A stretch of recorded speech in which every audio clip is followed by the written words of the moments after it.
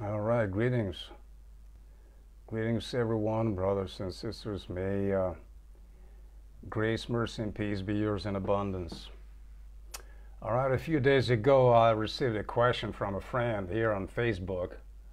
Uh, it was framed in Russian. Uh, this uh, friend uh, is on a sort of Bible college uh, curriculum program that's going through the study of especially the Old Testament sort of survey with a um, a guy who claims uh, you know mantle of Bible teacher, and apparently he is from the Hebraic roots or Hebrew roots. You know, he's uh, Jewish, I believe, by ethnic background. So he's using the, his knowledge of the tradition and the uh, Hebrew language, uh, sort of offering the insights which otherwise people who do not belong to this, uh, you know, chosen nation and so forth. Otherwise, they're, you know, they they can't see things clearly. But there are no difficult verses. This uh, Bible teacher claims, uh, as long as you pay attention to what he says, because he has this knowledge of Hebrew and so forth. He being also of the Hebrew origin, he can uh, tell you better what uh, the books of, especially Old Testament Revelation, what they what they say, and so on. So there's the study uh, through the Genesis, the beginning, uh, Bereshit in uh, in Hebrew. That that book is called the first book of uh, Moses, and um, it was this question about the uh, the privileges of, of the firstborn in Israel, and that uh, remember in Genesis 49, the uh, elderly Jacob, who's also Israel, whose name is Israel, has uh, calling all his sons and the future patriarchs, the 12 tribes, and he's given them his blessing and to each one a particular blessing, which is also prophetic in nature, because uh, in the, in those days and those patriarchs, when they pronounced the blessing, that would have that would be a prophetic blessing. Just as remember Isaac blessed Jacob, he meant to bless his firstborn Esau, but he ends up blessing Jacob, and surely he shall be blessed, as he says, because you know I blessed him, and that blessing is effectual and so forth. And uh, and this this teacher says that um, in the course of Jacob's blessing his uh, posterity, his sons, he is giving two of his sons with blessings which suggest there are firstborn among the brethren. And he says that, of course, the natural right belonged to uh, Reuben, who was his firstborn, but he forfeited that right because, uh, as, as you remember, he went into one of his concubines, I mean Jacob's, and therefore he sort of uh, um, uncovered his father's nakedness, and therefore uh, he was rejected.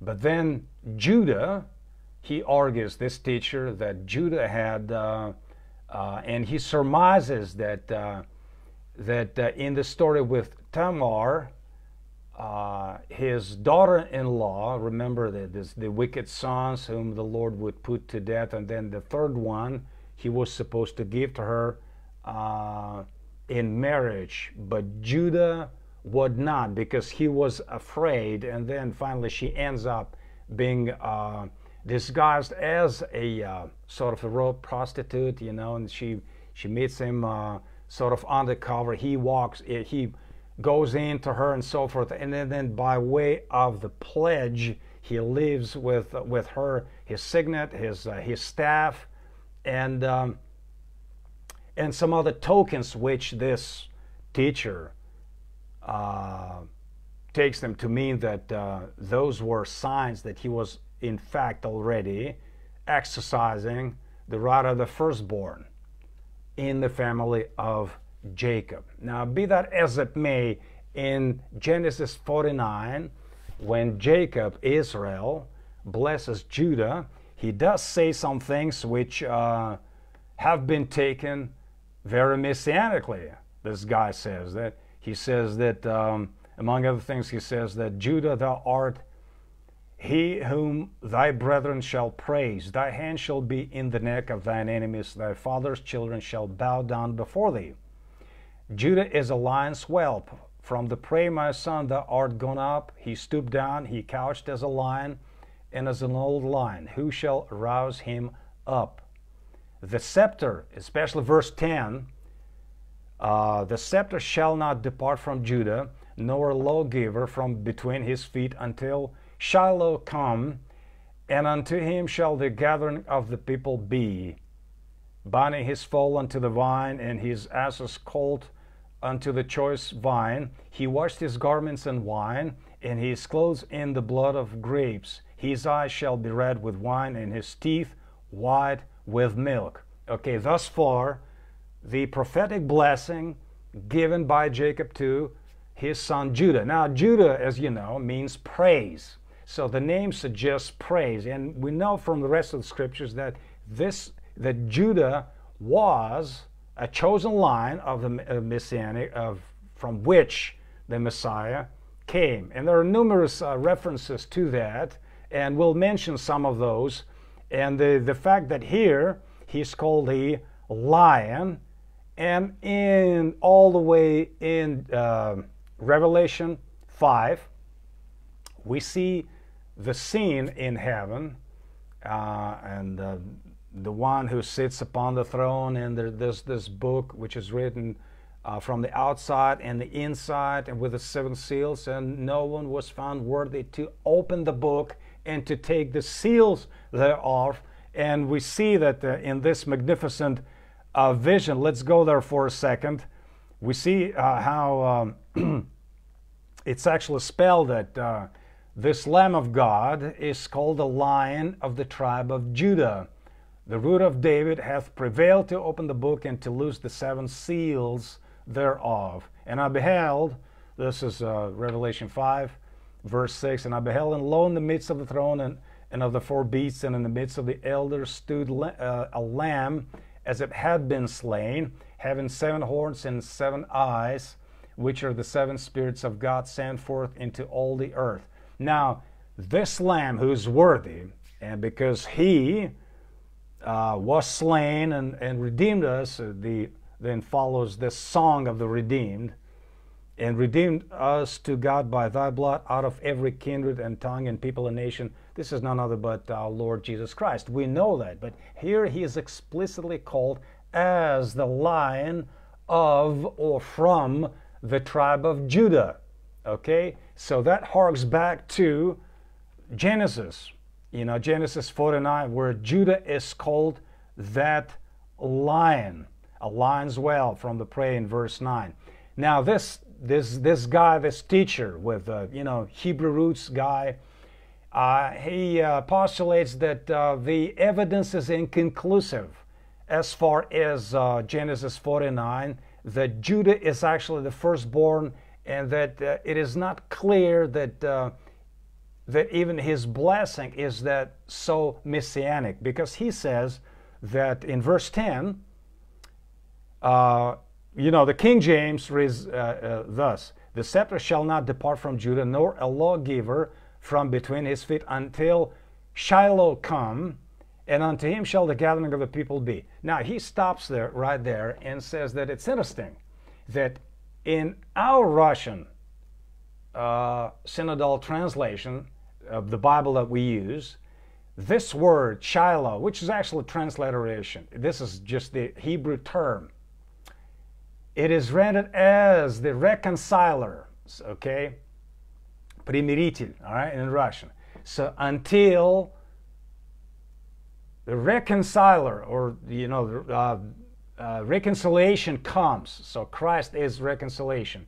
And it has the clear messianic uh, connotations. But he says, well, it's not that clear because it's the it's a term that is used only once in this particular uh, passage, and uh, in uh, rabbinic tradition is not united as to what it might mean. It might actually mean the personal name of the Messiah. So, literally, the Messiah by the name Shiloh, when the Shiloh comes, so that we can't uh, uh, necessarily surmise that he, he shall be the reconciliation of the world because it's it's unclear from this particular term. Okay, we, we can grant that, but our Christology and theology of the Messiah is in the prophetic utterances is not built upon this single verse. So that surprises me. Somebody who's focused on the Old Testament revelation, which is replete with messianic uh, prophecies. So he says that from here it is not clear that Judah is the messianic line. So because he says, well, because Shiloh is a, is a uh, disputed uh, term. All right. Okay, we'll grant that. Then he goes down to, uh, starting from verse 22, this is the blessing given to uh, Joseph. And he argues, this guy, this teacher, he says that, look, Reuben was the natural firstborn of Jacob. He was to receive the right and the privileges of the firstborn, and with all the greater blessings which were the, the uh, a portion of the firstborn. But he forfeit, uh, forfeited his, his right. All right. Then Judah comes into his place. And, uh, and he says, yeah, there are some signs that Judah, uh, even at that point already, uh, was uh, exercising uh, some of the privileges of the firstborn. He, he makes some other references to, to establish that. But then uh, Joseph, he says that of Joseph it is said here that Joseph is a fruitful bough, even a fruitful bough by a well, whose branches run over the wall the archers have sorely grieved him and shot at him and hated him, but his bow abode in strength, and the arms of his hands were made strong by the hands of the mighty God of Jacob. From thence is the shepherd the stone of Israel. Now I stop here. He makes an argument that this expression from thence refers to the line of Joseph. Okay, he does not establish it textual. I don't think he can do that, but he somehow alludes to his uh, assumption. It's, it's, it's just that an assumption that from thence he alludes, i.e., from the line of Joseph. Whereas, I mean, it's more natural uh, to come to a conclusion that, look, it says that the arms of his hands, i.e., of Joseph, were made strong by the hands of the mighty God of Jacob. From thence is the shepherd and the stone of Israel, i.e., God is the source of his strength. God has made him strong, the, the Almighty God, and from thence, i.e., from this Almighty God, is the shepherd and stone of Israel he argues that the, la- the, the, uh, the latter part, the shepherd and the stone of Israel, clearly refers to Jesus Christ. And I agree wholeheartedly. Yes, Christ is the shepherd. He is the good shepherd. That's uh, it's clear as day. And the stone of offense, you know, the rock of offense, and stone of Israel. These are messianic uh, references. Yes, but from thence it refers to God Himself. So he also says that since He precedes, the blessing is very rich given to Joseph, he says, Even by the God of thy father, who shall help thee, and by the Almighty, who shall bless thee, with blessings of heaven above, blessings of the deep that lieth under, blessings of the breast and of the womb. The blessings of thy father have prevailed above the blessings of my progenitors unto the utmost bound of the everlasting hills. They shall be on the head of Joseph and on the crown of the head of him that was separate from his brethren. Okay, thus far the um, blessing given to John. Yes, it is rich. I mean, it is in, in, in many ways even exceptional. But how do we interpret it in, in, um, in light of the fact that Judah, nevertheless, was chosen to be the line of David and ultimately Christ?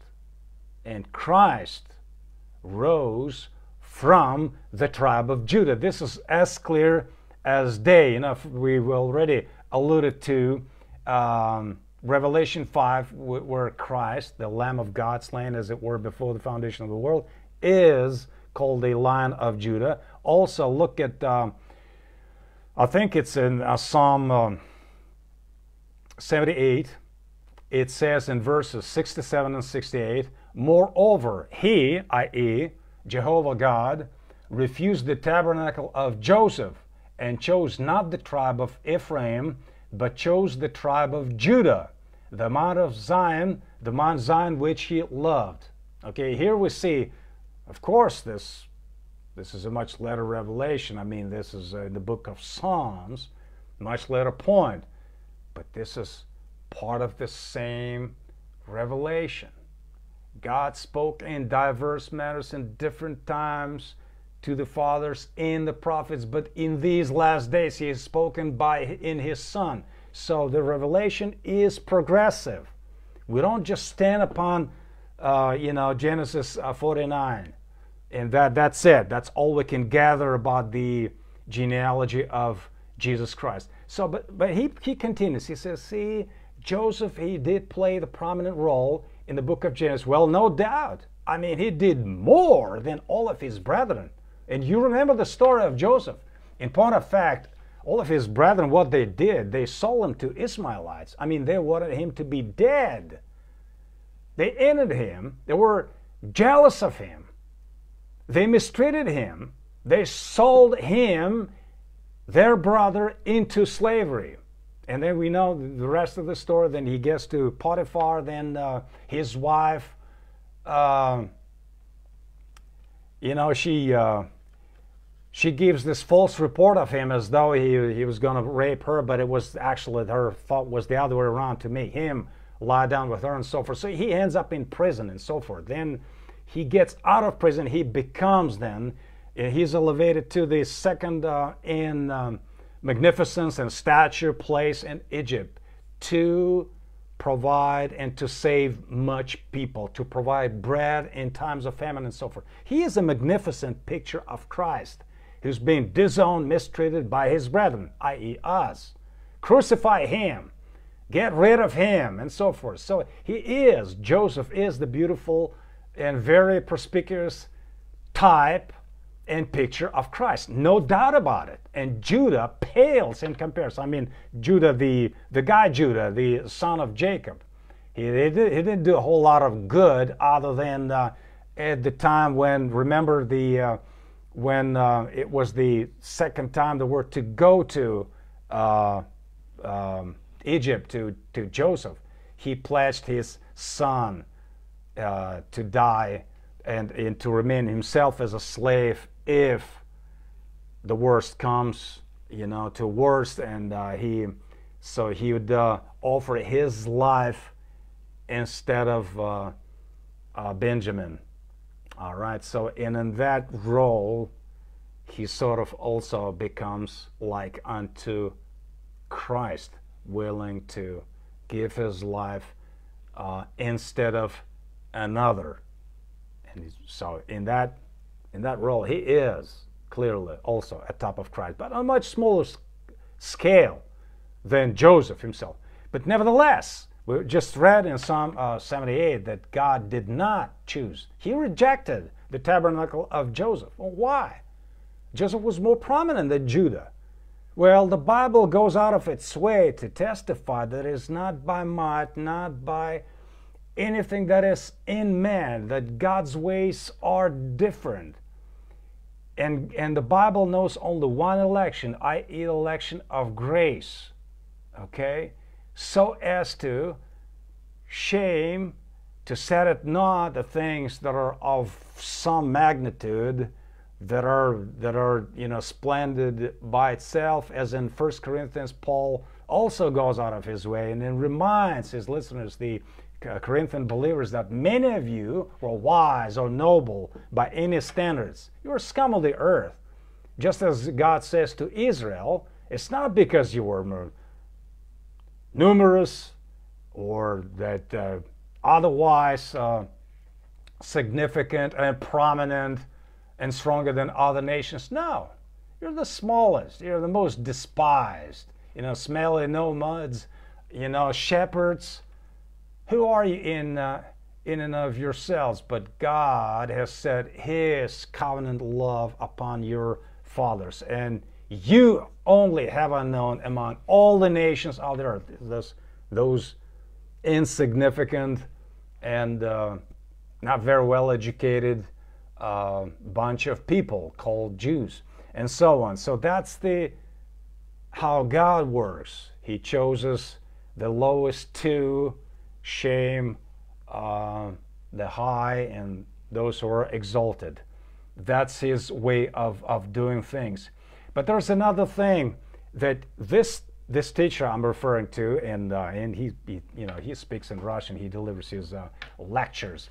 He makes this deduction. He says, look, he says the uh, genealogy thing, the, uh, the Messiah could have come equally, both from Judah and Joseph, judging from Genesis. The story in Genesis is inconclusive, and even the blessings that uh, the dying Jacob gives to his sons, it is kind of, so we see this sort of rivalry, okay?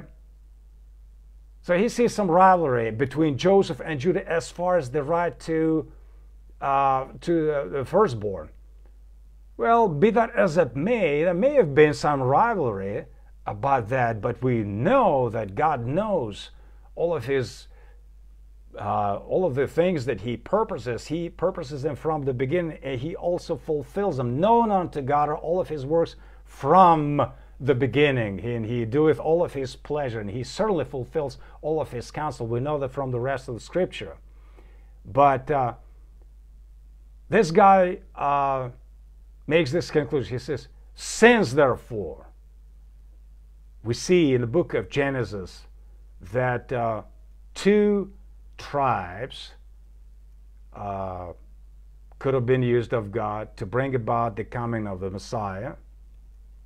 He says, This represents how God deals with all of us. He claims that He does not predestine anyone. He does not foreordain anyone one way or the other.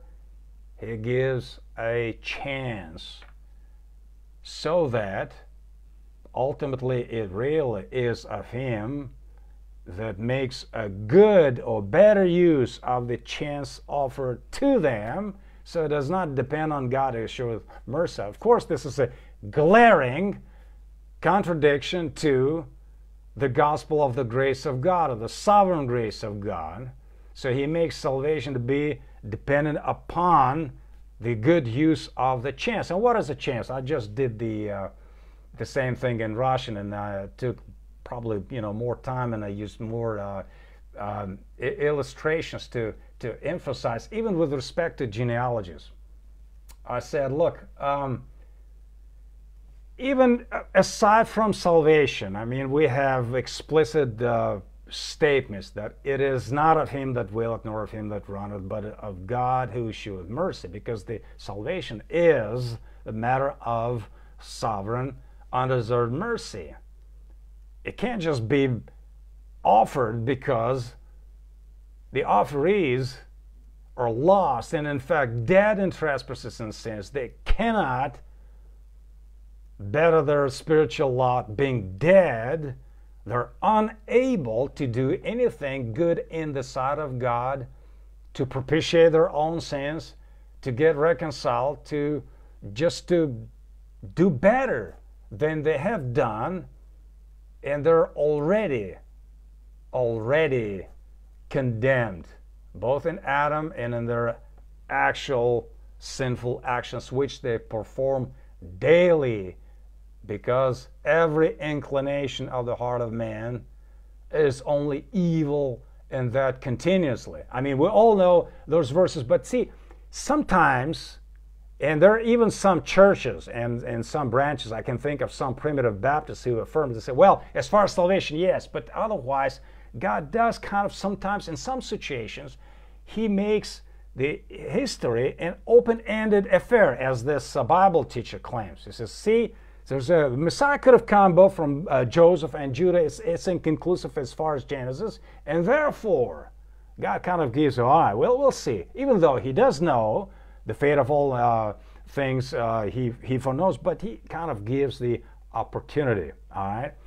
So we know the how to win this debate as far as the ultimate salvation, but uh, I've heard people, even those who claim to believe sovereign grace and everything, says, look, we're not, but everything else is not that clearly predestined and they say, well, the everyday choices were to go out at such a time and to go to this store or take a different route. And those are kind of so insignificant, and God gives you some loo. Uh, you can move uh, either way. It is not that hard fixed and so forth. Well, let's take this genealogy thing because it has the connection. Even the, the Davidic line or not Davidic line or the line of Joseph and so forth. We, we do encounter such a sometimes tedious phenomenon of reading long genealogies in the Bible, right?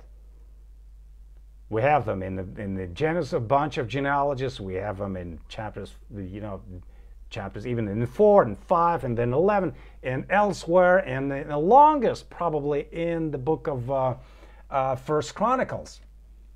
We have first nine chapters. Basically, it's just genealogies, and then the book of Matthew and the book of Luke and so forth and genealogies that concern the coming of our Lord. And so we have a bunch of people, we can hardly pronounce their strange, weird names, and so on. And we kind of uh, scratch our hands So, what in the world? Why do we have to even read all those uh, long and tedious names which we can't pronounce?